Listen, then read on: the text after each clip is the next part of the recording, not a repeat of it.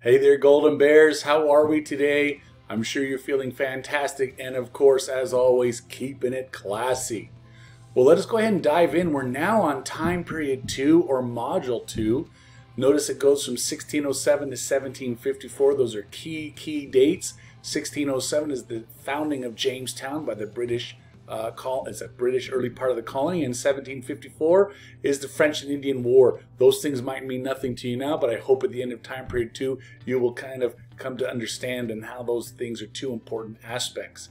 So here we're going to begin talking about uh, this and, and, shifting our attention away from Spain and the early uh, settlement by Columbus and his posse to the colonial America uh, and and the emergence of and the influence of England on this new landscape of the New World. So with that, let's dive in to a brief little overview of how we connect all of this together. This is a, a book that was written uh, by Don Richardson uh, many, many years ago and then subsequently turned into a movie. But this was a missionary who went to, I, I believe, Papua New Guinea. And it was there as a missionary that he was trying to discover kind of the, the secrets to unlock uh, some spiritual conversation in the hearts of these literally um, man and flesh eating uh, type of people group who actually prided themselves on doing the following thing that they would lure different or opposing tribes into thinking that they were friends and would have friendship groups and and have sort of gatherings and get-togethers if you would call them and that they would have a set time at some point when they invite one of the membering tribes members over and uh, while they're sitting there eating whatever vegetable they had in front of them, they would then club them to death and then consume them. And they would take pride in how they would lure them into this type of kind of sick um, festivity of, of, how they kind of lived.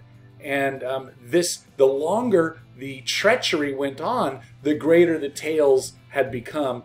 And so many of these tribes in Papua New Guinea, that's how they operated in their degree of brokenness. That uh, that's how they monitored and brokered power. And, and so Don Richardson and his wife had this idea that what if um, something was in their culture that we can identify with our Christian culture?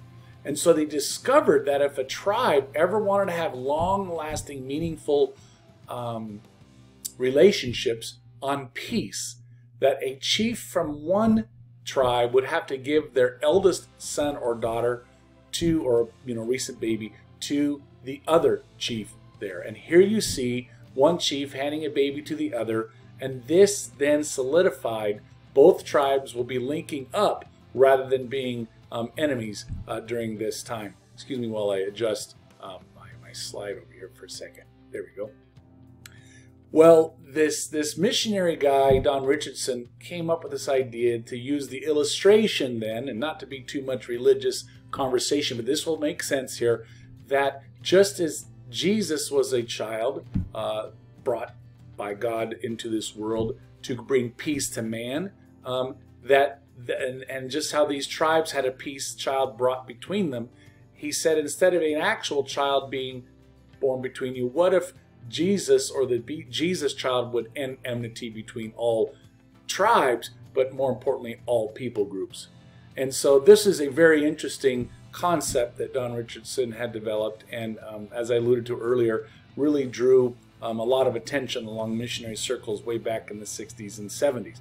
Well, why do I tell that story to you? Because as we begin to unpack the second stage, if you will, of Spain expanding their um, influence everywhere from Mexico all the way to the tip of Florida, all the way up into the Californias, um, there's going to be examples um, where as the Dutch and the French and eventually the British come into play, that the Native Americans are going to begin playing different um, colonists off of one another. But then also, like the Iroquois Confederation, you're going to have the the Hudson tribe and the Iroquois tribe, all you know near the, the, the Great Lakes, begin fighting against each other. And so soon, what we're going to find is that because of the colonists, there's no longer a peace child that keeps the peace between all all, all of the tribes together. And we're going to find that who eventually loses out on this is that of the Native Americans across all um, uh, areas or regions um, there in the New World.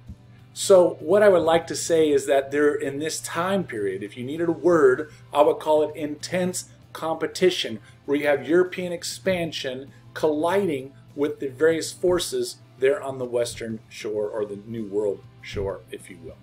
So that leads us to Module 2.1. That was just a little overview. So Module 2.1 is how Europe's Europeans begin challenging the Spanish stronghold, if you will, along North America. And so with that, I want to share a little story like I typically do.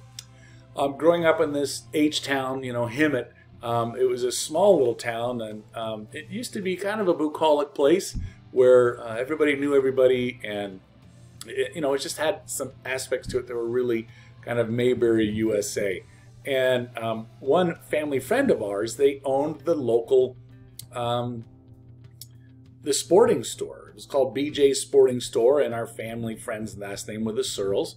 And it was there that they, that's where we all went uh, to go buy our cleats, our gloves, our baseball uniforms, our mouthpieces for football gear, anything that was sports related, we went down to BJ's. That's where everybody uh, knew to go in town. Rarely would we drive all the way to Riverside to go have the same type of thing. But all of a sudden, this new, you know, type of store, Walmart, or like a Home Depot, you name it, these big box stores. But Walmart was talking about moving into Little H Town. And it was there that you began seeing the small business owners really take um, offense to these changes that were taking place. So, like, how are we ever going to make money? And you know what? Truth be told, yeah, we didn't know. But we're like, yeah, bring on Walmart because if we can get gloves there cheaper, whoop, we're happy about that.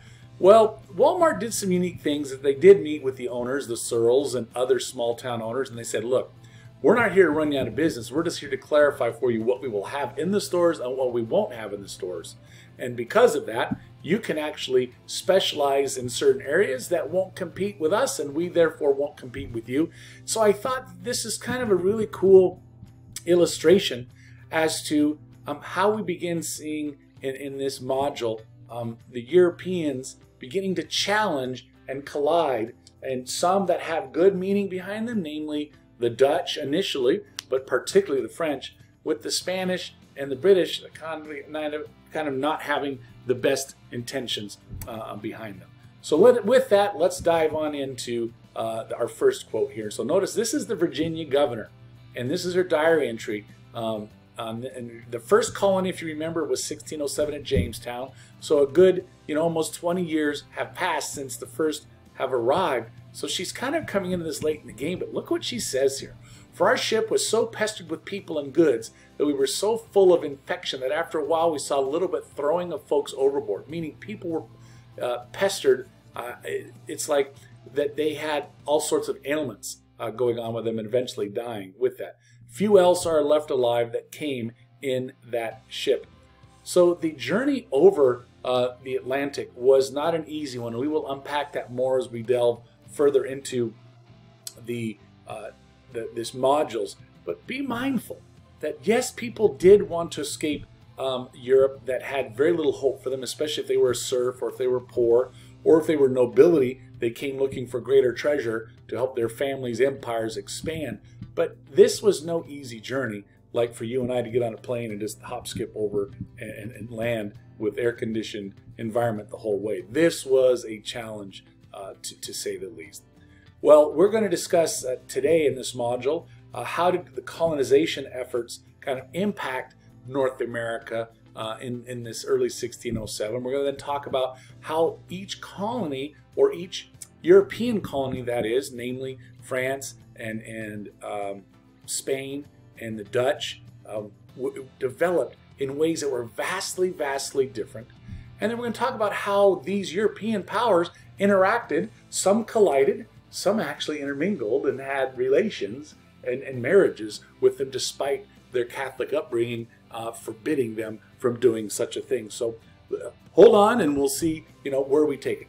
If um, you are wise, you will print out or copy this same graphic organizer and use this as you go through your reading, and especially perhaps while I'm, I'm lecturing and, and, giving you some notes uh, upon this. So with that, let's dive in and discover uh, soon here about, uh, I think we start with the French. But look at this map here, if you will. And this shares with you the various European nations that are, are swooping in and, and trying to challenge the Spanish foothold that has been taking place here. What they're lacking is Portugal, and if we were over here on the right-hand side, you would see Portugal. But Spain has just been growing leaps and bounds, and they're using the Bahamas as their launch point to continue to, you know, send people into Veracruz. Here's Veracruz. That leads them into Mexico City, and that's then what like takes them to New Mexico and into um, different part or Utah into New Mexico, and then over here eventually uh, toward the great Mississippi and to modern day New Orleans. And look what they do. They get all the way up above San Francisco in the town, I think, of Sonoma, where the furthest reaches are of the colonial um, mission system. So this map, I think, does a great uh, idea as to the extent of the Spanish Empire. I mean, when they landed um, there with, with Columbus in 1492, less than 50 years later, um, they have doubled in size and capacity of control. And a random fact um, is that Spain actually had in Mexico City, they had 85 years before Harvard was ever founded, way up here, they had a university um, in, in place. So the Spanish had a definite integrated idea of how to colonize, but also how to create or pass along their culture from European Spain. Up here you see the French and how they've started way, way up here with the founding of, of Quebec, and then they'll go into Montreal, and then they'll follow the river systems, eventually going down to New Orleans. And then you have your English and your Dutch. And the Swedish we're not going to talk a whole lot about because they're going to become later on in a different time, um, in a few subsequent chapter or chapters. But today we're going to talk about the Dutch and how they landed in the New York area. And later on in other chapters we'll talk about the English and, and what areas they team seem to infiltrate. So with that, let's talk about the French and how they expand in the North America region. One thing that made them unique and different than the Spaniards is that they, they did not come with any sort of religious ideology or drive. They weren't here after gold, God, and glory, okay, per se. They were really interested in trade. Trade of what? Fish and beaver pelts were their primary um, driving force. And so, because of these these aspects, they had actually pretty good relationships um, with the the the various tribes that they encountered. In fact, what also made them so unique is that they they forbade Christian missionaries, the Huguenots, and I'll show you a little picture here of that. This is the persecution of King Louis towards the Huguenots. And I don't want to get into AP Euro too much, but you need to recognize is that King Louis had a definite idea and a mindset to keep the Christians out, unlike what um, the, the England Church of England had done, where they said, "Fine, you're unhappy with our form of religion, the Anglican Church. You can go start your colonies elsewhere." Here, King Louis says, "You Huguenots." Uh, you might disagree with our Catholicism, but you cannot leave. In fact, we're going to persecute you. Who then did go? Well, Catholic missionaries. And it seems historically the Catholic missionaries that went from France found better ways to acculturate themselves um, amongst the Native Americans than certainly the Spanish. What you're seeing missing here is this encomienda system. Remember the Spanish brought in the encomienda system, which is basically allegedly was to work amongst the people and train them in the way of the Christian or Catholic faith. Well, in reality, in practice, it was nothing of that. It was a system of slavery and had nothing to do with Christianity. It had everything to do with profit margins whatsoever. So why didn't more people come to settle?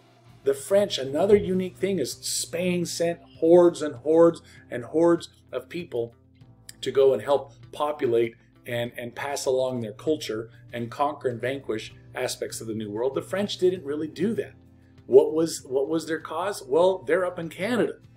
And there you have minimal growing seasons. And so, what's the point of bringing all these people there if there's not enough land, arable land, that will keep them alive? And so they said, let's just keep it to to just trade and and kind of keep happy with that uh, scenario. Now, what made them unique as well, and in order to, I guess, facilitate greater business um, ties and business um, relationships, is that the Frenchmen would take um, Native American Indian wives why did they do that? Well, for one, to solidify trade, so that way, uh, you know, that will remain. Two, that they won't find themselves dead because, you know, they've adopted various Indian traditions and will be received more by the Native American tribes. But three, they learn new strategies from the Indian wives on how to prepare the beaver um, that was much more efficient than the way they had been taught by the Europeans as well. So this gave the French a very unique advantage um, over the Spaniards and especially the Dutch that will come in who aren't so bad, but then the um, the British that eventually will come in as well that won't you know learn the value that the Frenchmen had placed amongst the Native Americans. Well, the French aren't quite happy with just staying up in the Greater Lakes region, uh, with the Iroquois Confederacy saying, "Yo, we have other business partners like the Hudson Indians that that we can kind of travel with." And so they traveled to find a way to get the furs out in a quicker and more efficient pattern. So Rene Robert Cavelier, or Cavalier, uh, but Cavalier is a French pronunciation, was the first to actually find where the Mississippi River exited. And from that, he claims this land uh, for the French. Hence, when you go to New Orleans, there's a huge French contingency there that um, still speak this Creole type of blend of France, and you'll see a lot of French influence in the buildings and architecture are there. However, since there weren't a lot of French coming over, because the king was not financing um, as much as they did with Spain, and this wasn't a nationalistic driven, um, you know, um, colonization. It was very hard to hold these these footholds that they had, and, and so this is uh, one of the drawbacks that the French uh, that they will soon find themselves in problems with in Quagmire because the Spanish are, hey, hey, ho, ho, we're not going to give up this space easily. And then soon there'll be a collision course with, of course, the Americans uh, at hand. So here's a picture of the French migration. Here you can see um, them landing uh, off in, up in Nova Scotia going into Montreal. And here um, is them traveling all the way from way all the way up here down to New Orleans what an incredible journey that must have been to be seen, all led by Native Americans. Well, now let's turn our attention to this other group of the Dutch. Now, the Dutch are interesting. The Netherlands were under the dominion of Spain, and the Netherlands were, were famous for building the boats that all of the Dutch and the British and mainly the Portuguese, all the European powers had used. So they had, um, why it was significant is that Spain owning and having the Netherlands part of their um, crown, if you will, that meant more profits kept going to the King of Spain, King Philip.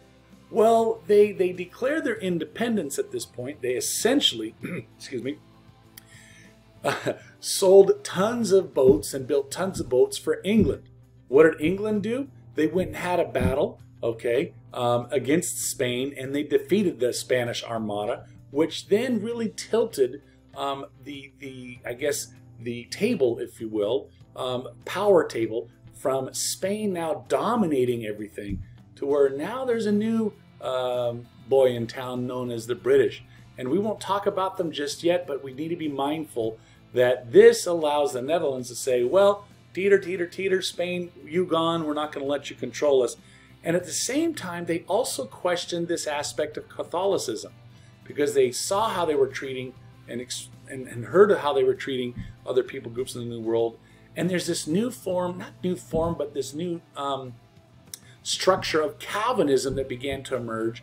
Uh, it's called the Five Points of Calvinism, that basically said that man is evil and born evil, is that God saves those who he wishes. Now, camp out there for a moment. There's unconditional elect, but it's basically God's elect.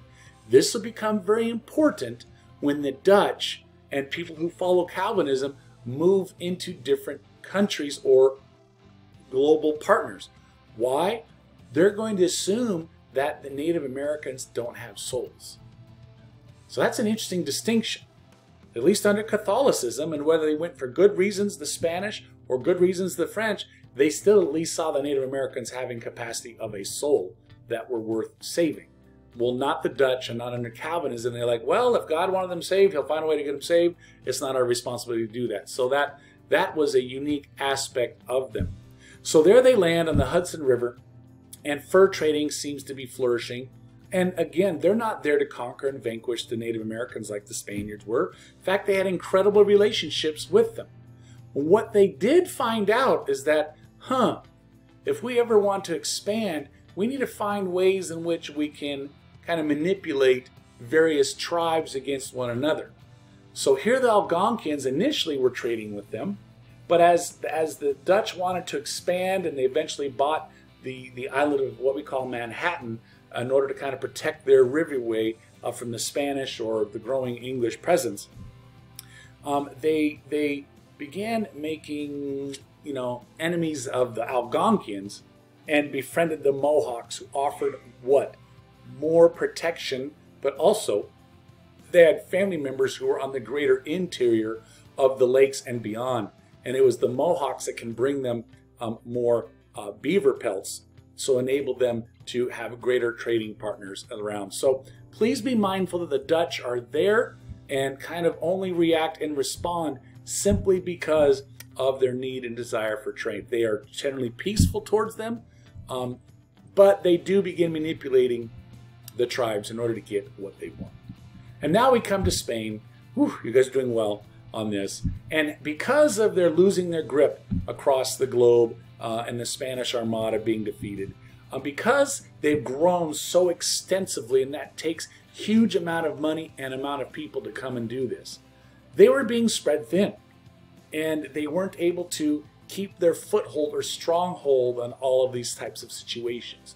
One of the first places that took place, and if you remember in a prior lecture, uh, I talked about in, in, in, in the town of in, in, Pueblo in New Mexico, there was uh, just a really evil um, uh, conquistador named Soto who arrived and, and, and killed and maimed and raped women to remind them that we're the Spaniards and you need to do what we say. This is the guy that cut off one foot of every guy who was 25 years or older. Well, about 100 years later, and a lot of unanswered prayer, I suspect, by these, uh, you know, Indians who have, I guess, had become Catholic under their watch. They finally said, We've had enough. And so, about 15,000 or so, I don't know the exact number, but it's close to that. Basically, after 100 years, it just been simmering, simmering, simmering. We're weary of this. We're tired of being under the yoke of Catholicism and, and the Spanish influence. They saw that their power was waning and they couldn't keep as many soldiers there. And so there you see Pope, who was who was kind of taken by um, some Spaniards, mistreated. He, he helped lead this revolt, so that's why it's called Pope's revolt. And they were essentially successful at expelling the Spanish out. And this was good for, you know, quite a few years. Um, and what did they do during that time? Quite interestingly enough, they tore down every uh, church or not cathedral, but adobe brick building that had housed um, Catholic services in them. They went and killed uh, numerous priests. Um, they did everything they could, but what they did in one special special places is they they would actually dismantle the, the churches, if you will, and in its place would put up a kiva, a little worship shrine. This is very similar to what the uh, down in Aztecs, and this was known when the Aztecs were defeated. What did they do to Tenochtitlan right down there? The, the Spanish had crumbled that great uh, pyramid and built a church, a cathedral on it, which is still there in the Zocalo right now. Um, so they've had kind of an interesting switch of fate that would uh, do this types of things. Well, eventually the Spanish did return, but they didn't have the strength uh, that they once held um, at that time. Well, that brings us basically to a close. The rest of this stuff will be done in class, but please be mindful that the French, the Dutch, uh, will eventually talk about the English, and the Spanish certainly have a different approach and a different experience there on the New World. Keep it classy, Go Bears. We'll see you next time.